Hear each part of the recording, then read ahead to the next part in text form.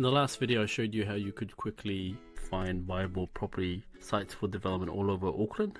In this video I'll show you how you can enrich your site search by adding um, numerous um, data to it so that it'll help you with your decision making. For example, I can show you how you can add um, zoning information, um, designation, designation data, um, public transport, etc., even schools. Um, okay, let's begin. Okay, first thing you do, which was the same as last time, was to indicate approximate location. This time we'll go to uh, Manukau, which is my hood. Um, next, we'll choose a land size, um, 800 by say about 2,000 square meters. Let's choose a zone. I'm going to choose mixed use for this one, and then enter in my details. I've already got mine there by default, and let's go. Click here. The disclaimer, obviously, just to make sure that we understand the rules around the use of this application. Um, I'm looking to build and enhance this tool, so I really appreciate some feedback. So hit I understand get started. And there we have it, all the viable sites that are 800 by 2000 square meters. Um, let's ho hover over one of particular interest. For example, uh, let's go closer to the township area. Here we go. So let's enrich this sort of analysis. Is a property here um, that looks promising. Um, yeah, thousand square meters or so.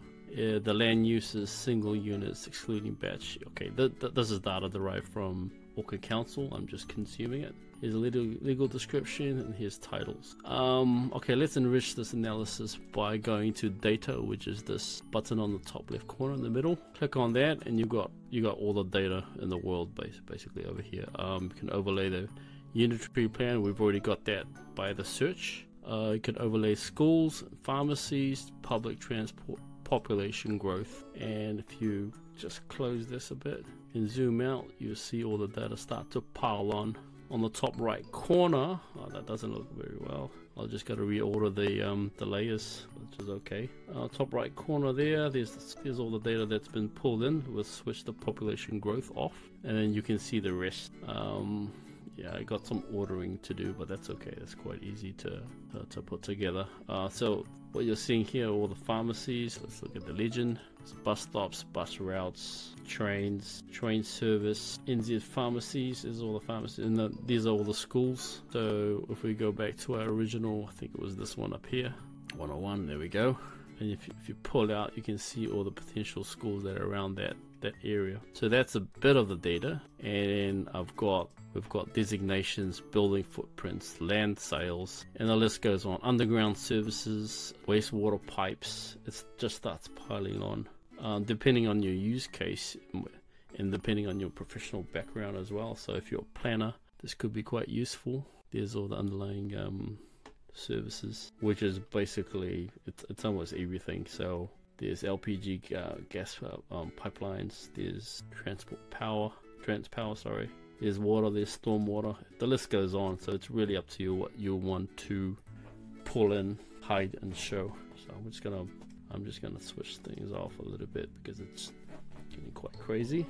Is designations. That's normally a good one. Basically, um, council approved development areas. So I've got designations switched on here.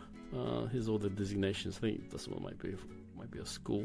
Um, I don't have pop-ups just yet because this is purely a show and tell. We've got Cont. This one is actually quite popular with the property developers. We got um, go to environment. We got contours. That's pretty good. So this one roughly indicates how flat the land is. So this one's pretty flat which is viable, viable option for development. You might look, oh, there's already a a building there. Yes, correct. So in the next video, I'll show you how you can possibly reshape this, this site here for uh, further development. But while we're at it, I'll just click on this. Basically a Google Earth tool that I've got embedded. What it does is just we'll switch to Google Earth and we'll um, see that property in Google Earth. Uh, in 3D, so it just adds more context to your to your site selection. Let's let that load up. There's 101 there. Look at that. Zoom out a bit and just just note that this is this purely to add further analysis to your decision making. And that doesn't look really good for me, so I'm gonna hover down using the um, the nav the nav man. Go down by and get a street view of the place. Oh, that looks pretty good. There's one dwelling there. It's a carport.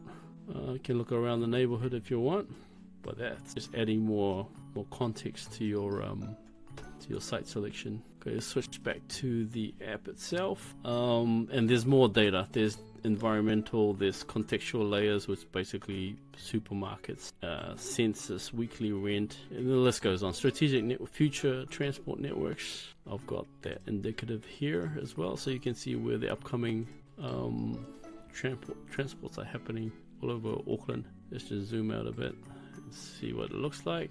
Okay, so this big circle means, go to the legend, that multimodal. Okay, there's going to be a multimodal. There's going to be significant investment in this area in the future, which is good to know as part of your um, analysis. But yeah, that's just a quick 30 down tutorial of how you can enrich your mapping your site's uh, search um, and you can pan around the whole of Auckland too to see where other options are depending on where you want to go. Uh, that'll save you so much time, especially with the property developers uh, just looking for, for sites. It could take possibly weeks or even months to find a, site. This will, tool will help you find it in in a couple of minutes. So big time saver. In my next video, I'm going to show you how you can take advantage, take this further by um, adding, uh, basically planning the um, the site.